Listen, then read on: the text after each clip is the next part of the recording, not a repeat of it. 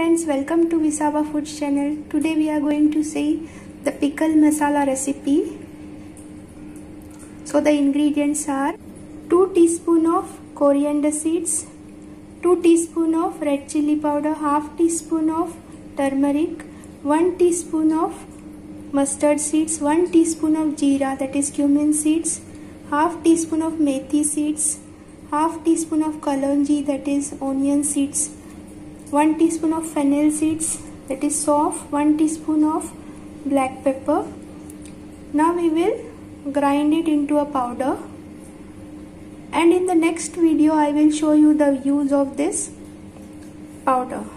Powder is not only used for pickle but I use it for my different sabzis also. So I will grind it now into powder. Friends here I have grinded all the masalas. Here I have taken half teaspoon of dry ginger powder, 1 teaspoon of black salt. Now we will mix it. And then our pickle masala will be ready. I am mixing it by hand only. That is comfortable for me. Now friends, our pickle masala is ready. This you can use not only for pickle but also for some sabzis. So I will be going to show you some sabzis made out of this masalas.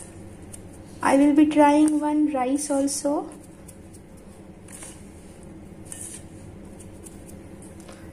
Friends, our pickle masala is ready. If you like my recipe, please like, share and subscribe to Visava Foods channel. Thank you.